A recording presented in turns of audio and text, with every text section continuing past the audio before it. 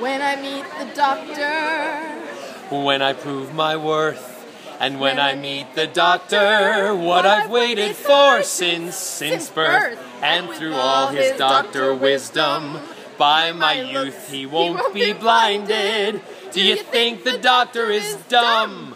Or like Oods, he's so small-minded. well, He'll say to me, I see who you truly are, Jack, a man on whom I can rely. and that's how we'll begin. the doctor and I.